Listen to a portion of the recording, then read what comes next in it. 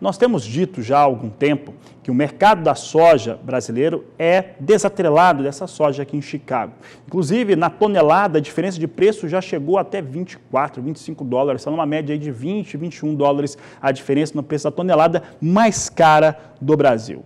Muita gente, inclusive, se questiona, né, falando inclusive que é aqui no Brasil que está se dando as cartas. Entretanto, com aquele pseudo-destravamento entre China e Estados Unidos, por conta do acordo comercial, os prêmios aqui no Brasil recuaram, entre outros fatores. Sobre este e outros assuntos ligados ao mercado da soja, nós perguntamos ao Steve Ketcher, ele que é analista de mercado, está na Europa, está tá em seu escritório em Malta, mas perguntamos para ele como que está essa situação da soja aqui no Brasil, ligado às negociações e também ao porto. Uma boa tarde a todos. Ela se foi mais uma semana, uma semana que continua focada, pelo menos na soja, na questão, obviamente, do Covid-19 e recessão global, focada também com a questão das compras de soja americana pela China e no Brasil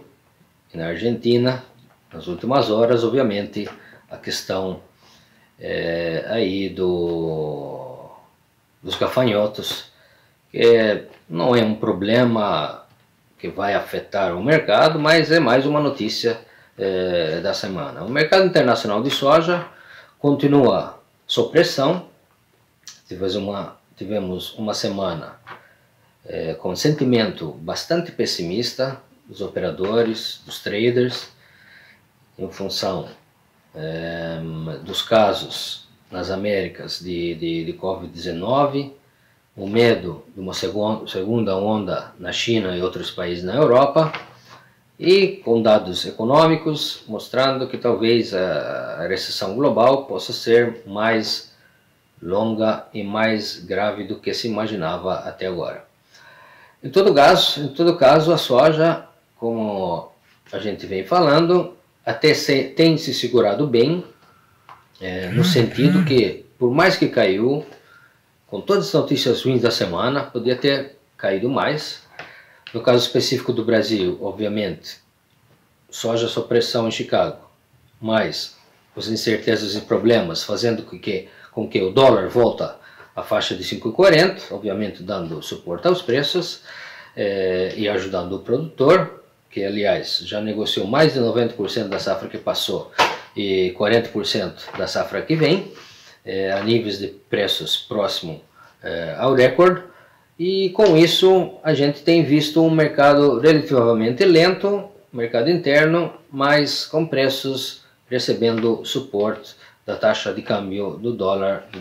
desvalorização do real. No mercado internacional a gente está esperando uma reaçãozinha, no curto prazo. Como falamos, o mercado é, suportou bem a pressão até agora. E semana que vem vamos ter na terça-feira um relatório importante de USDA, de estoques americanos e estimativa da área efetivamente plantada nos Estados Unidos.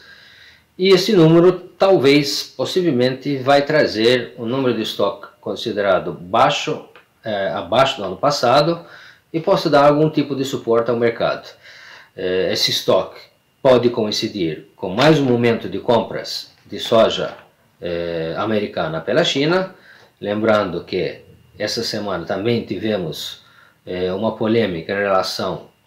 à fase 1 desse acordo comercial,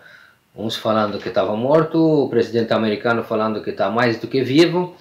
O fato é que precisamos, para o mercado em Chicago reagir, precisamos ver de novo a China atuando no mercado de soja dos Estados Unidos. Fatalmente, na nossa opinião, isso vai acontecer, até porque, como falamos anteriormente, o Brasil já negociou mais de 90% da safra,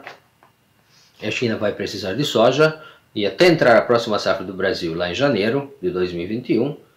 só sobra praticamente os Estados, os Estados Unidos para fornecer. Então, quer ou não queira, eles vão estar no mercado logo de novo, comprando volumes grandes, como tem feito uh, ao longo desse ano, e isso pode ser um fator de suporte aos preços no mercado internacional. Então, uma semana de preços internos bons, preços internacionais ainda ruins, mas todo o foco agora para a semana que vem, que vai ser uma semana mais curta, lembrando que na sexta-feira é o feriado antecipado de dia 4 de julho, dia da independência dos Estados Unidos, e na terça-feira o relatório de USDA. Uma boa tarde a todos e um bom final de semana. Tá, o Steve Kesha, ele que é analista de mercado, também tem participação na Cerealpar, na lista da Cerealpar, entre outras instituições.